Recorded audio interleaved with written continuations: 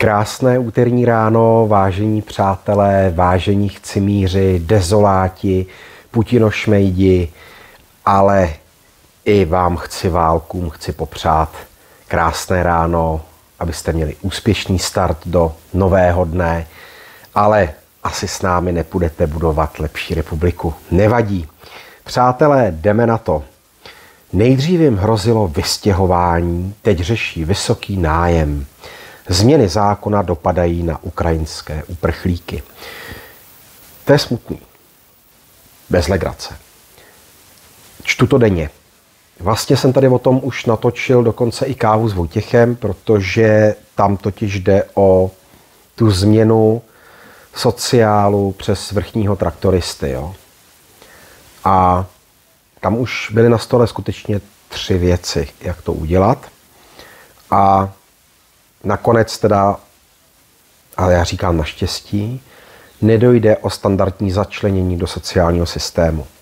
A než někdo bude chtít říct, že jsem nelida a necita, tak eh, bych jenom chtěl upozornit, že například v Rakousku to bylo tak, že vás nejdřív zapojili do sociálního systému, když jste měli odpracovány tři roky, pak to zvedli na pět, pak myslím 7, 8, pak 10 a dneska si troufám tvrdit, že už je to snad dokonce 15 let.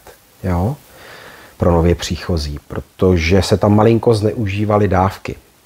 No a není prostě možné, aby kdokoliv z jakýhokoliv důvodu sem přišel, to v tom není podstatné, tak aby tady s prominutím parazitoval na tom systému. Ti šikovní si práci vždycky najdou, tady to není žádný problém, zrovna v České republice to fakt není problém a dokážou se uživit. Ale mně se moc líbila ta velmi odvážná reportáž v televizi, kde tam říkala majitelka zrovna takovéhle ubytovny, že tam jsou ti mladí kluci a těm, že se jako moc nechce dělat. Že za ten rok a půl si nenašli práci. Tak já to chápu, jsou traumatizovaní.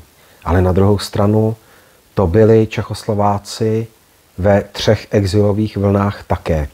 A nakonec si tu práci našli. Hold to takhle chodí, přátelé. Já si myslím, že kdyby to bylo v obráceném gardu, kdybychom my prchali tam, tak se s náma vůbec nikdo nemaže. Ale třeba se pletu. Je to začátek posledního dějství Vladimíra Putina, říká diplomat. To je zase nějaký expert. To je furt stejné. To posloucháme také každý den.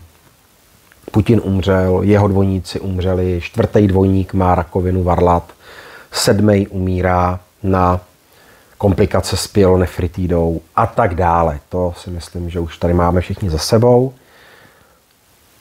To, že není zdravý, no tak to v jeho věku je celkem pochopitelné.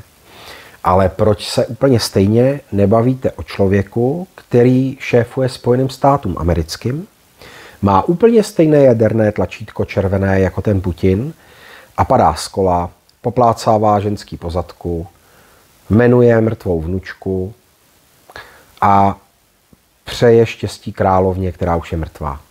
O tom neřeknete ani slovo. To je docela, docela zajímavé. No. Zavřít ropovod družba je až krajní scénář, říká šéf státní firmy Mero. Tak vzhledem k tomu, co tady vykřikujeme neustále, že se jako 11, 12, 13, 14 sankční balíček a my nepotřebujeme komodity z Ruské federace. My se obejdeme bez komodit z Ruské federace. Sice teda se neobejdeme z toho uranu, to potřebujeme do těch jaderných elektráren, tam jako jsme trošku na tom špatně, ale jinak my to zvládneme. My prostě nepotřebujeme ruskou ropu, my nepotřebujeme ruský plyn a tak dále. Takže když tady se teď baví o tom, že se bude budovat ta soustava přes dolomity, no tak hold, tak to je, ne? Tak to přece nepotřebujeme, nebo se pletu. Ono asi půjde o těch 75% té, toho dovozu. No, promluvil taky Prigožin konečně, už se usidlují v Bělorusku. Musím teda říct, že to od Lukašenka byl geniální tah a jenom otázka času, kdy si to u Vladimíra Putina vybere. To zase jako nejsem tak naivní ale přečtu vám, co bylo cílem.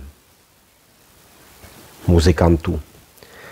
Cílem pochodu bylo nedopustit likvidaci Wagnerovy soukromé vojenské společnosti a pohnat k odpovědnosti všechny, kteří se dopustili obrovských chyb během speciální vojenské operace, citoval Prigožina portál Meduza. Rusko jako speciální vojenskou operaci označuje svou invazi na Ukrajinu, kterou zahájilo loni v únoru. Tak. A teď baborať. Všichni říkají něco jiného. V tom už se ani prase nevyzná. Přátelé, včera jsem tady měl mimořádné vysílání večerní, živé, živý vstup, těsně po odvolání pana docenta Ševčíka, děkanem Národohospodářské fakulty Vysoké školy ekonomické v Praze. A má to smysl ještě vůbec nějak komentovat tenhle ten marasmus?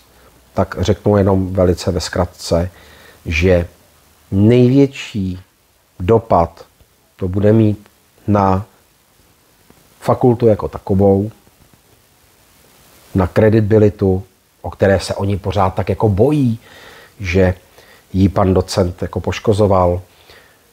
Druhotně to bude mít dopad na studenty a na výuku jako takovou, protože teď už se ti pedagogové, kteří se ho zastávali, tak co udělají, jako podělají se teď, nebo jako co bude, co bude dál. Takže tady se prostě budou lidé vyhazovat z funkcí, posléze z práce, za svůj názor, protože musíte mít ten správný světonázor. Jakmile vybočíte trošičku z řady, nedej bože vybočit z řady. To je tam mám tady pěknou knihu. Vám někdy z toho přečtu nějaké úryvky. Běda tomu, kdo vybočí z řady. No, Lipavský, jo. Lipánek, Igráček, miláček novinářů, jo. Určitě si všichni vzpomenete na to, když ho jmenovali, tak eh, chtěl být kancléř vtipný, tak ho pan Magi, pak eh, to vlastně není magistr, vy jste vlastně bakalář, tak kdyby chtěl být chytrý minář opravdu, tak by věděl, že titul bakalář se zcela a zásadně netituluje. A to ani na akademické půdě. Jo? Dobře, v pohodě, chtěl být vtipný, nebyl, bylo to spíš trapné, ale Lipavský je miláček prostě těch novinářů. Ale přesto dovolená na Krymu musí počkat. Ministři by se měli krotit. Ano, měli by se krotit, protože to, co vlastně pustil pan ministr zahraničních věcí, tak to byla desinformace. Pane ministře. Na Krym s tvrdým jen tak nepojedete. Teda pokud nechcete letět s ruskou cestovkou. A těm jste zakázali tady lítat. Tak to asi nepůjde. Takže jedině, že byste šel na Krym s měkkým a to bych vám nepřál. Tak, přátelé, co tu máme dál? Jo, tohle taky považuji za pěknou prasárnu a podraz. Zvýhodnění pracujících důchodců je u ledu. Ano, mělo to být tak, že seniori, kteří si budou chtít eh, přivydělat, tak eh, tam mělo být odpuštěno části sociálních odvodů a to se nekoná. Peníze nesmrdí ani od mladých, ani od starých. Vážení přátelé, já vám přeju, ať máte krásný a úspěšný den. Dneska se určitě ještě uvidíme, možná i na cestě. Až bude řídit Barunka, tak se s váma možná spojím narychlo a dáme si nějaký živák, protože včera vlastně jsem měl živák po více než měsíci a rád si s váma popovídám. Přátelé, mějte se krásně.